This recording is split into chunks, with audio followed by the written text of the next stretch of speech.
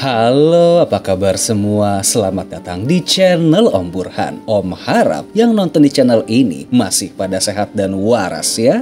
Dikatakan kalau menjadi polisi adalah pekerjaan yang mulia, karena polisilah keamanan suatu daerah akan terjamin. Walau di satu sisi ada juga oknum polisi yang nakal dan merusak nama institusinya. Namun jangan salah, masih banyak para aparat yang berusaha menegakkan keadilan. Namun apakah kalian pernah membayangkan jika ada seorang polwan yang berusaha seorang diri mencoba menangkap seorang pembunuh berantai? Well, skenario ini kurang lebih akan tergambar pada sebuah film thriller kriminal asal negeri Paman Sam berjudul The Bone Collector yang dirilis pada tahun 1999. Singkatnya film ini berkisah tentang seorang polisi forensik yang terbaring lumpuh akibat kecelakaan kerja. Namun hebatnya, masih bisa berkontribusi untuk keamanan kota. Hingga suatu hari, ada sebuah kasus pembunuhan yang rumit sehingga dia meminta bantuan seorang polwan untuk menelusuri kasus yang sedang terjadi agar dapat menangkap sang pembunuh berantai. Ya kira-kira dapatkah mereka mengungkap misteri pembunuhan ini?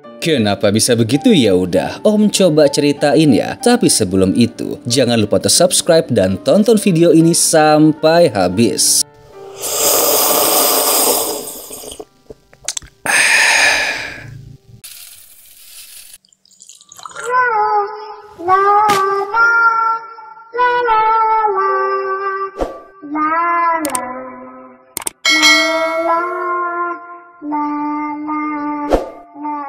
Time story. Are you sitting comfortably? Then I'll begin. Film dibuka dengan seorang ahli forensik bernama Lincoln Rhyme sedang menelusuri TKP kasus pembunuhan polisi di bawah terowongan. Dia pun sedang bekerja sama dengan tim kepolisian guna mencari jasad polisi tersebut. Namun saat menemukannya, Lincoln malah bingung karena wajah sang korban mirip dengannya. Apalagi nggak lama, ia malah tertimpa besi besar. Dan hal ini telah menyadarkannya dari tidur, di mana itu ternyata hanyalah sebuah mimpi. Lalu adegan berganti ke pasangan Ellen dan Lindsay yang ingin pulang dengan menggunakan taksi. Namun, bukannya sampai tujuan, mereka malah dibawa ke sebuah tempat asing. Dan jelas, pasangan ini pun panik dan bahkan berniat melompat dari mobil. Tapi hal ini percuma karena pintunya telah terkunci dan tidak bisa terbuka. Di sisi lain Lincoln ternyata telah lumpuh karena sebuah insiden kerja sehingga hanya bisa menggerakkan kepala dan satu jari saja di mana saat ini untuk beraktivitas dia pun harus dirawat oleh perawat pribadinya yang bernama Thelma. Tapi hebatnya dalam kondisi ini ia masih bisa bekerja karena memiliki perangkat khusus yang dapat digunakan sambil berbaring. Seorang pria bernama Dr. Barry mengajaknya mengobrol karena Lincoln semakin depresi karena kondisi fisiknya. Padahal mereka saat ini sedang berusaha untuk menyelesaikan sebuah kasus. Lalu Sim beralih ke tengah kota. Di sana, kita akan berkenalan dengan seorang polwan cantik bernama Amelia. Saat sedang makan, Amelia pun mendapat tugas untuk mengecek sebuah gedung kosong. Kemudian bertemu dengan seorang anak kecil yang sedang ketakutan. Sebab tanpa disangka, di dalam tempat itu ditemukan jasad Ellen yang tertimbun bebatuan dan beberapa benda aneh lainnya. Karena lokasinya berada di tengah rel, gak lama sebuah kereta pun akan melintas. Dan dengan sigap, Amelia dengan berani langsung menghadangnya karena lokasi itu adalah sebuah TKP pembunuhan. Kemudian dengan menggunakan kamera sekali pakai, dia pun mengumpulkan petunjuk yang ada di lokasi.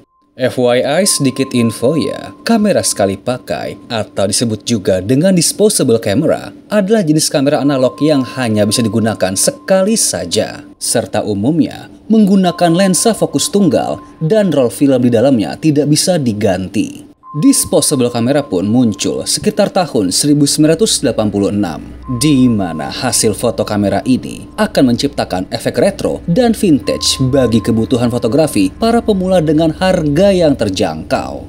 Setelah itu kita dibawa untuk melihat nasib dari Lindsay. Nampak dia tengah digiring ke sistem uap bawah tanah lalu diikat pada pipa besar oleh pria bertopeng hitam. Dan hanya terlihat matanya yang berwarna hijau keabu-abuan.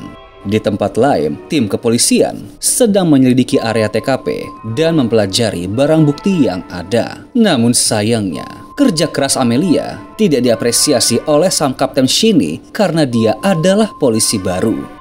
Lalu Lincoln dihampiri oleh temannya, yakni detektif Pauli dan Kenneth. Kemudian bercerita tentang kasus pembunuhan yang baru saja terjadi. Pada awalnya, Lincoln tidak terlalu tertarik karena merasa kalau ini kerap terjadi. Namun, barang bukti yang dia lihat sangatlah aneh. Tapi nggak lama setelah itu, dia pun malah kejang-kejang hingga pingsan karena tengah mengalami komplikasi autonomik disrefleksia akibat cedera yang dia derita, di mana komplikasi ini sejatinya sangatlah berbahaya karena sewaktu-waktu bisa menyebabkan pendarahan otak parah hingga kematian. Ternyata ini adalah efek samping dari cedera yang dia alami. Lalu setelah siuman, dia kembali mengecek dokumen dari kasus pembunuhan itu. Kemudian mengundang Amelia ke rumahnya untuk membicarakan hal ini lebih lanjut. Karena dialah yang pertama kali tiba di area TKP. Lalu saat mendengar kronologis dari polisi baru ini, Lincoln pun merasa kalau Amelia memiliki bakat untuk menjadi tim forensik. Kemudian mengajaknya bergabung untuk menyelesaikan kasus ini. Di mana dengan terpaksa, dia pun menerima tawaran ini walaupun awalnya telah menolak. Saat jam menunjukkan hampir jam 4, terlihat kalau mereka semua tengah membahas beberapa barang ditemukan di area TKP, seperti sebuah pistol tua, kulit kerang yang hancur, potongan besi kuah, asbestos, dan potongan koran lama. FYI sedikit info ya, asbestos merupakan sebuah bahan tambang yang memiliki serat silikal mineral yang halus dan serat yang dihasilkan sangat tipis hingga mudah terhirup. Karena itulah, jika terlalu banyak masuk ke dalam tubuh, maka akan terbentuk jaringan asing di dalam paru-paru. Akibatnya, kita pun dapat terkena kanker paru-paru karena menghirup asbes ini atau penyakit lainnya yang disebut dengan asbestosis. Secara umum, jenis profesi yang berpotensi besar terpapar zat ini adalah orang yang bekerja sebagai penambang. Maka itulah mereka kerap menggunakan masker saat bekerja. Dan kini pun telah banyak negara yang menetapkan asbes sebagai barang ilegal karena dampak yang ditimbulkannya.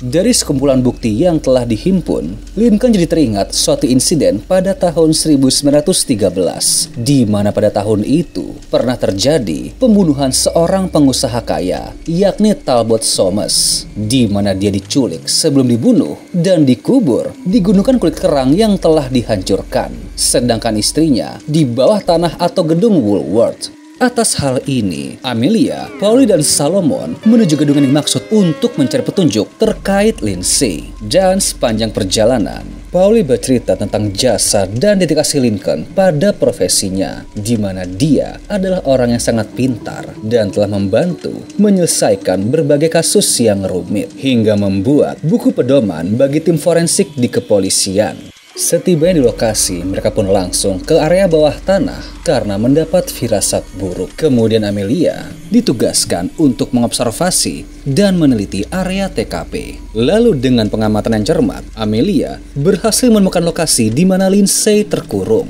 dan langsung berusaha untuk menyelamatkannya. Tapi sayangnya, usaha mereka sia-sia karena sang pembunuh telah mensabotase area itu agar ruangannya tidak bisa terbuka. Dan gak lama, uap panas pun menyembur ke arah Lindsay dan menyebabkan dia terkukus secara hidup-hidup. Atas kejadian brutal yang menyebabkan Lindsay tewas, semua orang pun menjadi shock. Lalu pada malam hari, Amelia dan tim kepolisian menyusuri area TKP dengan arahan jarak jauh dari Lincoln. Kemudian secara personal meminta Amelia untuk memperhatikan tiap sudut TKP, di mana dia terkejut saat menemukan jasad Lindsay yang terikat di depan mulut pipa uap panas. Lincoln pun menyuruh untuk mengambil sampel agar dapat diperiksa oleh tim forensik seperti mengambil tulang dan rambut milik sang korban. Tapi saat diminta untuk mengambil borgol yang ada di sana, nyali Amelia pun langsung ciut sebab dia diminta untuk memotong tangan Lindsay demi mengambil borgol tersebut dan setelahnya segera pulang dengan naik taksi. Lalu saat malam hari, ketika Amelia ketiduran di atas sofa, dia terbangun karena mendengar suara misterius yang ternyata berasal dari Solomon yang datang ke sana untuk menjemputnya dan pergi ke rumah Lincoln. Karena bisa saja sang pembunuh telah meninggalkan petunjuk untuk aksi selanjutnya. Dan benar saja, saat sampai, seorang petugas mengabarkan bahwa ada mahasiswa yang diculik oleh seorang supir taksi, di mana motif penculiknya sama persis seperti korban sebelumnya. Dikatakan korban malang ini dibawa ke tempat penyembelihan hewan untuk disakiti. Kemudian membuat luka yang lebar menggunakan sebuah pisau untuk mengundang para tikus tim kepolisian pun mengunjungi lokasi pembunuhan, di mana penyelidikan ini dipimpin oleh Amelia yang kembali menyisir area TKP bersama tim kepolisian lainnya. Terlihat kalau saat ini Amelia jauh lebih kalem dari sebelumnya dan berani melakukan eksplorasi hingga bertemu dengan sang korban yang telah dimakan oleh tikus. Tapi Kapten Shaney yang merasa lebih senior merasa kesal atas penyelidikan ini sehingga mengganggu proses investigasi dan kesehatan Lincoln. Namun ya mau tidak mau, para tim dan Amelia harus berjiwa besar untuk memecahkan kasus ini. Dikarenakan berbagai sumber daya dan peralatan yang mereka gunakan saat ini merupakan pinjaman dari kepolisian pusat yang didapatkan atas izin sang kapten. Di sisi lain, terlihat kalau sang pembunuh akan beraksi lagi dan kini semakin berani. Di mana terlihat kalau korbannya kali ini adalah seorang kakek beserta cucunya. Namun gak lama, seorang polantas memberhentikan kendaraannya karena dia tidak menyalakan argo taksi. Tapi petugas ini langsung ditembak oleh sang pembunuh dan segera kabur dari sana.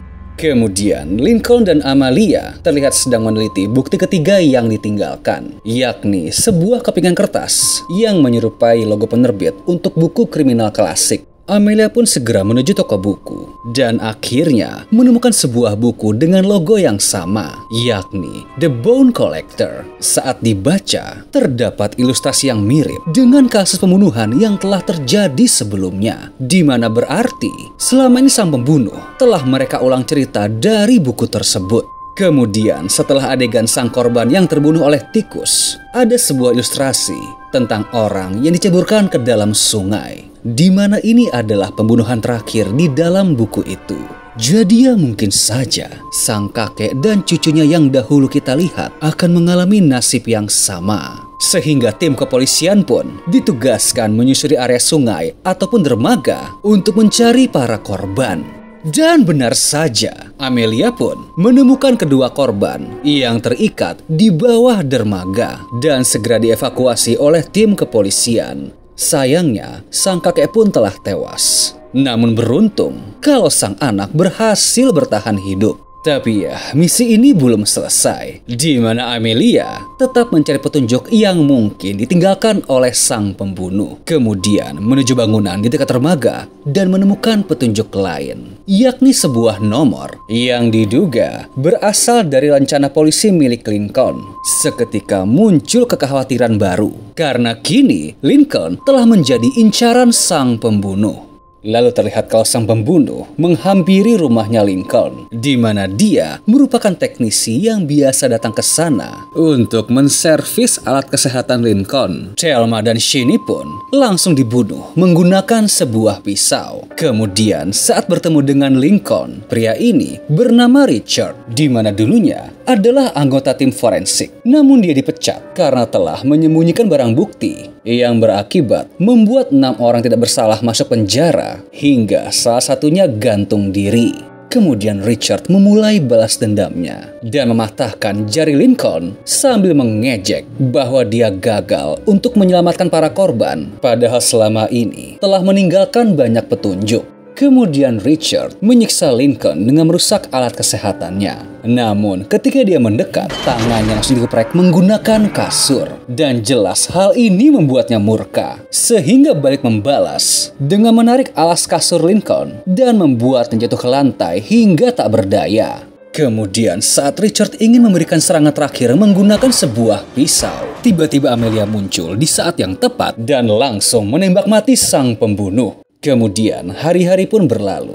Terlihat kalau keadaan saat ini telah menjadi lebih damai. di mana Lincoln kini telah mendapat sebuah kursi roda elektrik agar dapat bergerak. Dia pun menghabiskan malam Natal bersama keluarganya dan juga Amelia. Lalu film pun selesai.